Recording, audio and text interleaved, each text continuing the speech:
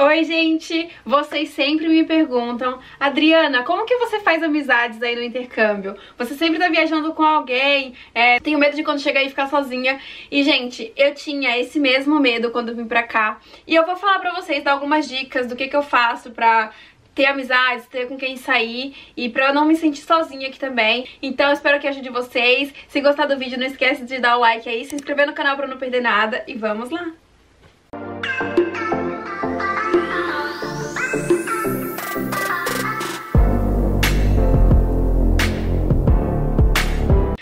Gente, sério, antes de vir pra cá, eu morria de medo de não ter com quem sair, de ficar sozinha dentro do quarto, de ficar sozinha aqui, sabe? Tipo, não, de não ter com quem conversar.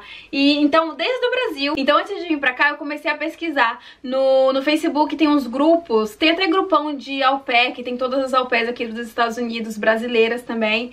Então, eu fui, tipo, em um grupo de Long Island, que é, tipo, onde eu moro, e procurei, tipo, o nome da minha cidade lá. Aí, quando eu joguei isso, eu vi que tinha um post de uma menina, Rafaela, que é a minha amiga aqui, que moramos na mesma cidade que eu tô morando. E, tipo, ela tinha um post dela lá quando ela tava vindo pra cá, falando que ela ia morar aqui e se tinha alguém próximo pra fazer amizade. Aí eu, meu Deus, já vou mandar mensagem pra essa menina pra chegar lá e não ficar sozinha. Aí eu mandei mensagem pra ela, ela foi maravilhosa, muito querida. Ela me explicou como que era, porque a família também dela é judia, então ela me deu várias dicas, já falou como que era a cidade, já falou, ó, oh, quando você chegar a gente pode se encontrar pra fazer tal coisa. Então eu já me senti mais calma, sabe? Tipo, de que eu ia chegar, já ia ter alguém aqui pra conversar, contar, e que era brasileira também. Tipo, é diferente, né, amizade com brasileiro do que amizade com um americano. Então eu já vim pra cá assim, sabendo que ia ter alguém aqui na cidade. Ela já me contou também que tinha outra menina, que era Larissa, que vocês conhecem também, que, que eu sempre postava vlogs com ela. Ela já voltou pro Brasil, infelizmente, ela não tá mais aqui, só tá a Rafa. Então, tipo, próxima de que eu moro mesmo, só tem a Rafa. Então, mas aí, tipo, pra você fazer amizades, você tem que estar tá disposta a fazer amizades. Por, por exemplo, você tem que ir no grupão falar, ai ah, gente, eu tô morando em tal lugar, tô querendo ir pra cidade tal dia. Alguém tá querendo ir? Então você tem que estar disposto. Por exemplo, tem o grupão lá de Alpec, onde todo mundo coloca dúvidas, ou tipo, se oferece. Tipo, se oferecer é você colocar lá, ah, eu tô morando em tal cidade, ou vou chegar em tal cidade tal dia e tô querendo fazer amizades. Tem alguém desse lugar? Ou então, ah, final de semana não tenho ninguém pra sair, tô querendo ir pra New York City. Já fiz isso, tipo, coloquei lá do grupo, ah, gente, tô querendo ir pra cidade, não tenho ninguém pra ir, alguém tá querendo ir, mora aqui perto. Aí apareceu lá a gente falando, ah, eu tô querendo sim, eu vou pra City tal hora, a gente se encontra. Então é assim que você faz amizades aqui no intercâmbio de au pair. Por mais que você não tenha muitas au pairs ao redor, você consegue ir lá no grupão, você consegue deixar uma mensagem, ou então uma au pair conhece outra au pair que já te apresenta. Por exemplo, tem a Vanessa também, que mora... Ela não mora tão próximo daqui.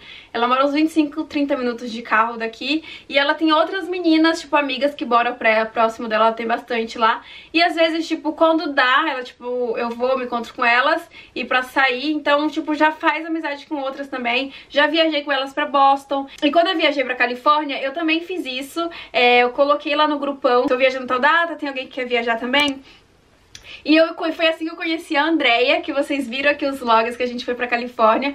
Virou super minha amiga, adoro demais a Andrea. E, tipo, a gente já tá até planejando outra viagem e com mais várias meninas que eu não conheço ainda também. Tipo, joguei lá no grupão, ai, tô querendo viajar tal data e, tipo, tem alguém aí querendo fazer esse roteiro, alguém tá com a mesma semana de férias. Apareceu várias meninas, gente, sério. Até fiquei desacreditada e já tô, tipo, montei um grupo lá com essas meninas, a gente já tá vendo tudo pra viajar mês que vem. Novembro vai ser minhas férias, vai ter vários vídeos aqui no canal de vlogs de viagem. Então, tipo, já tô fazendo amizade com essas meninas também, por mais que uma mora, tipo, em tipo, estado longe, tipo, uma mora na Virgínia, outra mora na Flórida, e, tipo, a gente vai se encontrar no lugar pra gente viajar. Então, basta você querer fazer amizades e você não só ficar, tipo, ah, chegar, ficar só no seu quarto, não tentar ter contato com outras pessoas, porque você só vai fazer amizade se você querer.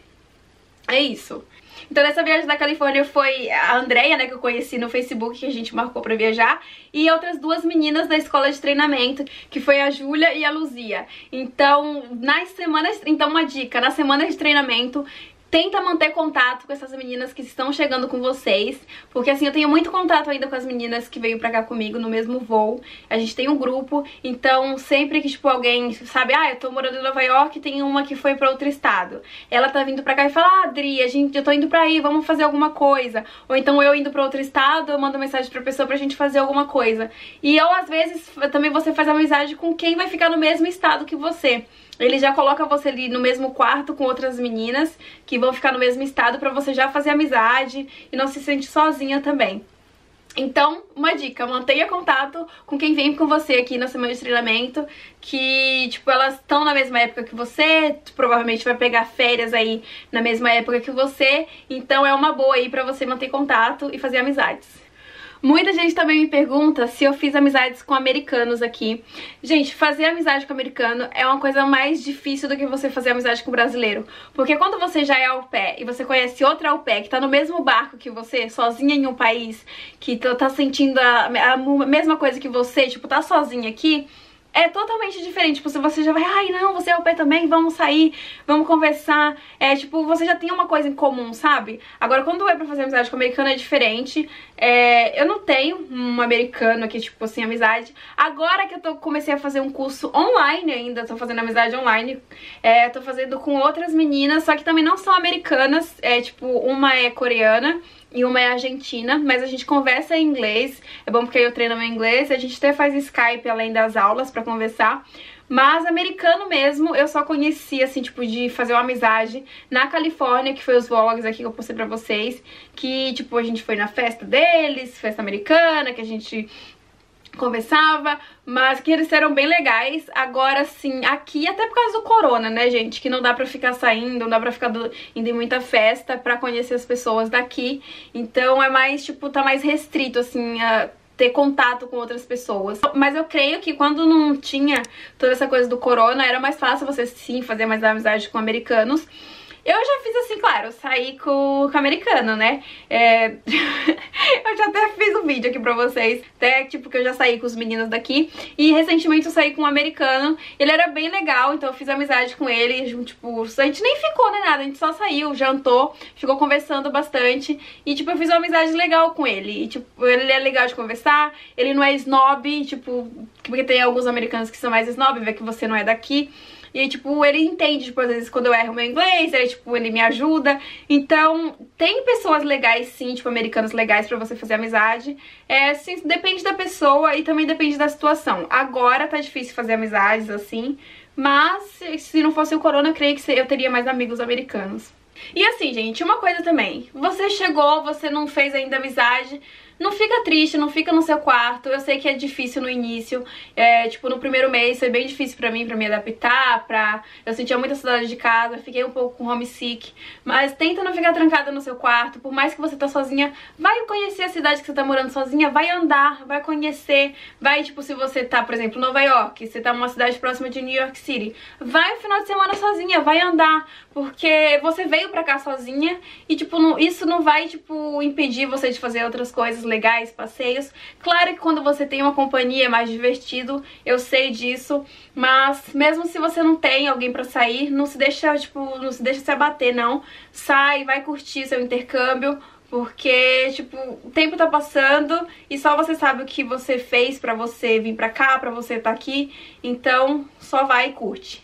Bom, gente, então esse foi o vídeo. Espero que tenha ajudado vocês a se sentir um pouco mais um pouco mais tranquilas, né, em relação de vir pra cá fazer amizade. É muito fácil você fazer amizade no seu intercâmbio de au pair. Eu mesma fiz mais amizade aqui nesses nove meses no intercâmbio de au pair do que a minha vida inteira no Brasil, juro, gente. Tenho, fiz muita amizade aqui, tipo, pra viajar, pra sair final de semana. Conheço, já conheci várias au pairs. Então, fica despreocupada, você vai sim fazer amizades quando chegar aqui. Você vai curtir bastante. Se gostou do vídeo, vídeo, não esquece de dar o like aí, se inscrever no canal pra não perder nada e até o próximo vídeo.